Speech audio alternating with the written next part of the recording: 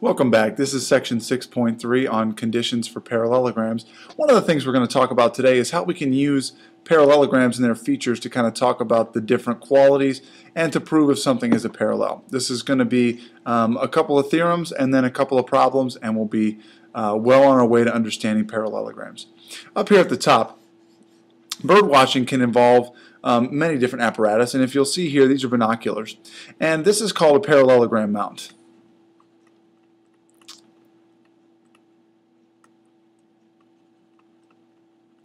And what it allows the viewer to do is to move up and down and not change the viewing angle. Okay, so you can see here that we've got this parallelogram outlined inside. Okay, and so those are going to maintain their parallelogram nature as they move up and down. What it might look like is this.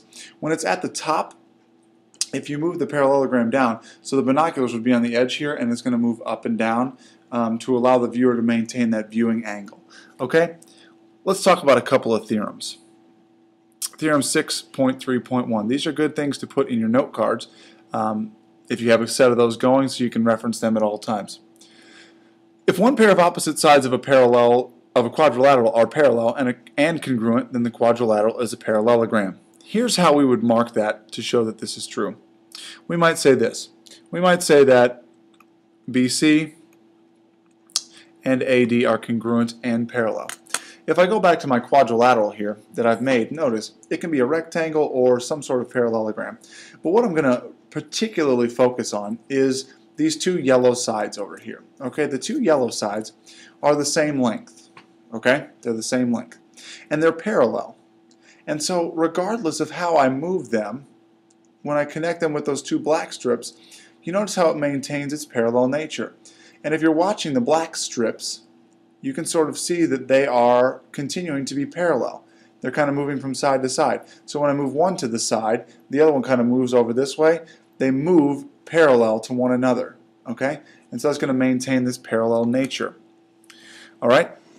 So that's one thing we can do. If both pairs of opposite sides of a quadrilateral are congruent, then the quadrilateral is a parallelogram. So this is saying we've got opposite sides that are congruent. Well, if we think about a rectangle, okay, the two yellow sides are the same. The two black sides are also the same. And so no matter if I move it like this, it makes sense that the black ones are going to stay the same distance apart. So they would be the same distance because the two yellow sides are the same distance. And so if I move them this way, these sides are still the same length. These sides are still the same length. They're just moving side to side. Okay? So this is kind of a visual to give you an idea of what these theorems are about. 6.3. If both pairs of opposite angles of a quadrilateral are congruent, then the quadrilateral is a parallelogram. These theorems are all related to the ones we saw we looked at in the last section. Okay? So if we once again look at our parallelogram, notice I've got kind of a biggish angle down here, right? An obtuse angle. And if these two black lines here are parallel, this would be a transversal, okay? And if they're parallel over here and this transversal is also parallel, I know that these two angles are going to be the same. Notice how they move. If they're really small on this side, so these two angles that I have my fingers by, they're really small. If I move them over this way, they get really big. They move together. They move together. They're always going to be the same, opposite angles. Say the other two angles are also opposite. They stay the same. That's just how they move. It's how they move, okay? So, 6-4. If an angle of a quadrilateral is supplementary to both of its consecutive angles, then the quadrilateral is a parallelogram. This is what this looks like. So I would have, this one is 180 minus x. And this one's going to be x. This one's also going to be 180 minus x. Because we are remembering now that if I've got an angle down here in the corner, okay, it is going to go with the two angles that are next to it. So if I take my, my finger here, this angle up here and this angle right here are going to be supplementary. Okay, they're going to add up to 180. All right. And if it's also supplementary with this one, well, that makes sense because these two angles opposite of one another are the same. So if this angle down here is, say, 100 degrees, then, and both of these are 80, then this angle is going to be supplementary with both of them. Okay? That's what that means. Last theorem. If the diagonals of a quadrilateral bisect one another, then the quadrilateral is a parallelogram. So what we're saying is we don't know if it's a quadrilateral. Or, sorry, we don't know if it's a parallelogram. But if this is true, if bisecting,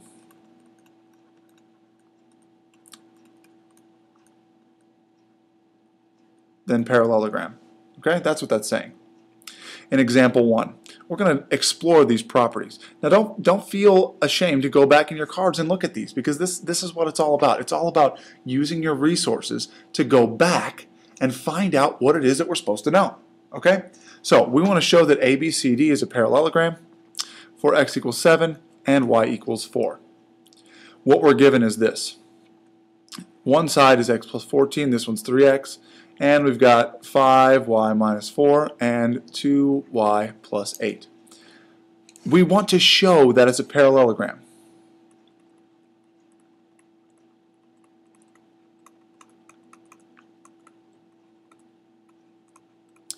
And to show that it's a parallelogram,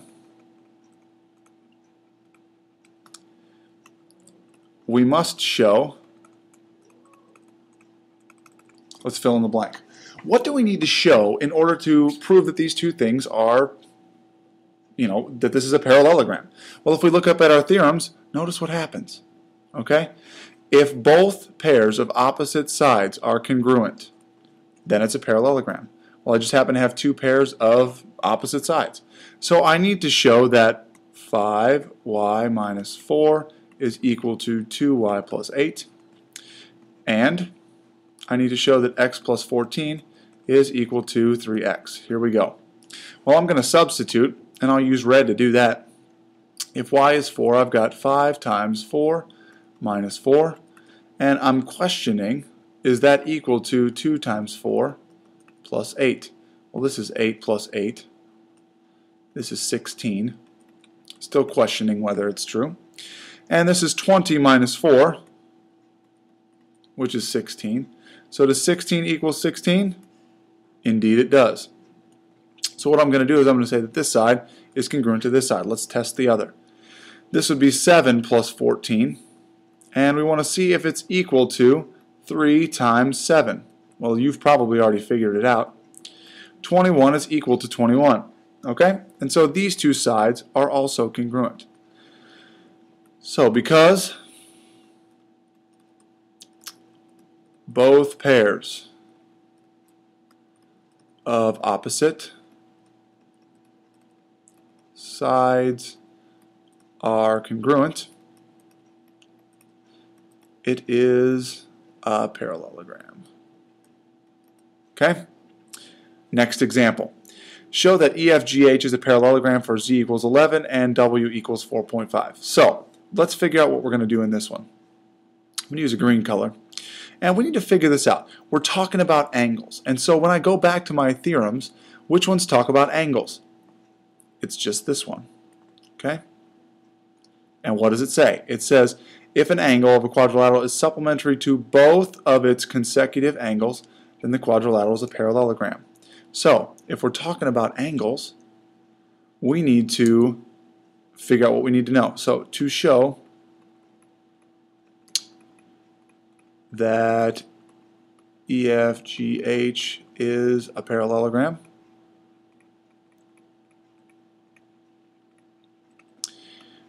We must show, and we're going to fill in the blank. We must show that angle F plus angle G is equal to 180, right? Because these two need to be supplementary.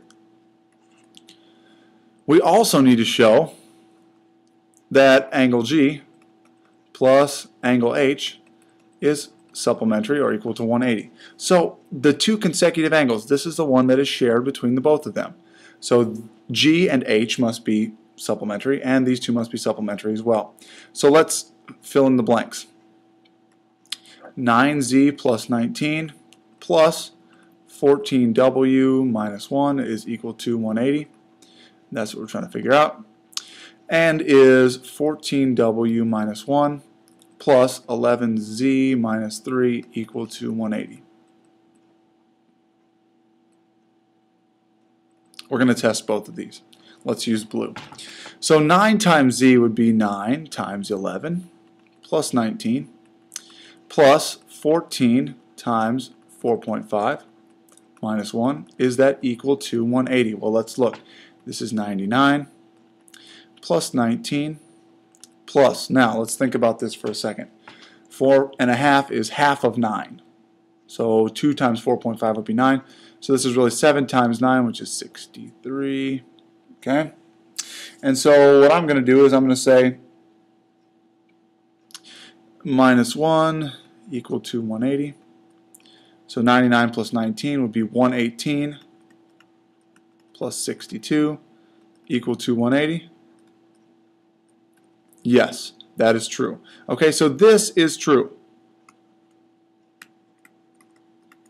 That's true. So let's test this one. This is 14 times 4.5 minus 1 plus 11z minus 3. Well, what's 11z minus 3?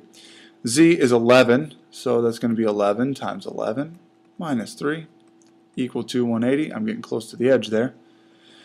Once again, this is 63 minus 1 plus 11 times 11 is 121 minus 3 equal to 180. Remember, we're testing this. We want to know if this is true. It might not be true. The first condition is true.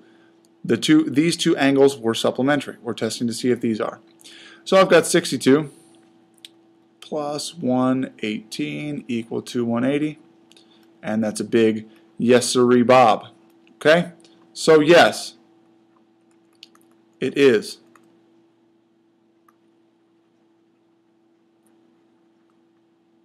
Okay? It is because consecutive angles were supplementary. Let's sum it up. Conditions for parallelograms. These are beautiful because we only have to show that one of them is true.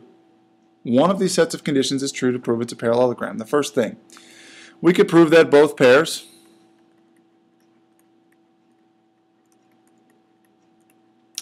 of opposite sides are parallel. So if I prove that both pairs of opposite sides are parallel, that's the definition. and that would make it a parallelogram. That's a condition for a parallelogram. Number two, I could show that one pair of opposite sides are parallel.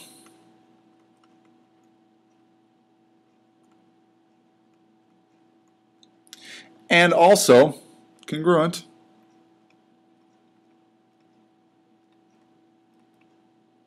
and that would be theorem 6-3-1. So these are conditions that show that a parallelogram is true, or that it is a parallelogram. Condition number three. And remember, I only need to show one of these to prove that it's true. So if I have one or two, it's good. Number three.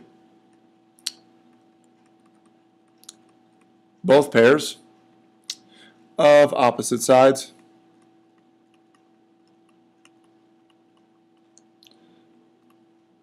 are congruent.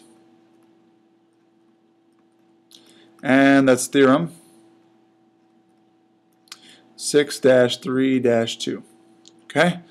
The fourth condition that could be met could be that both pairs of opposite angles are congruent.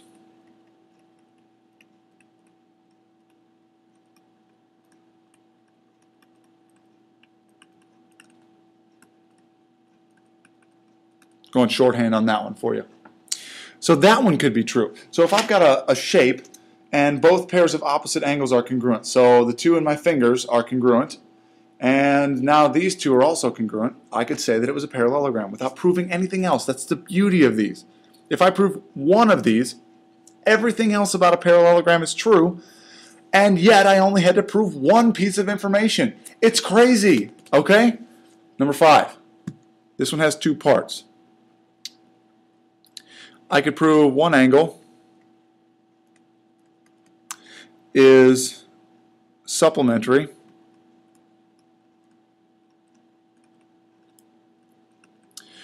to, e to both consecutive angles. Okay? That's 6-3-4. Or, sorry, got 6 in there for you. Number 6, the diagonals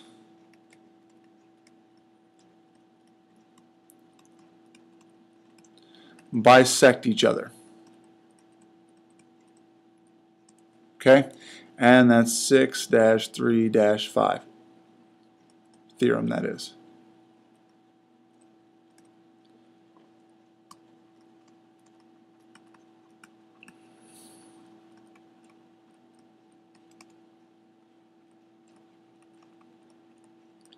You need to prove only one of these conditions to prove that a shape is a parallelogram. Shortcut, guys. It's a shortcut. You prove one of these things, but you got to know them. Got to write them down in your cards. Got to commit them to memory. If you can prove one of them, you can prove that it's a condition for a parallelogram. Thanks for watching. We'll see you next time.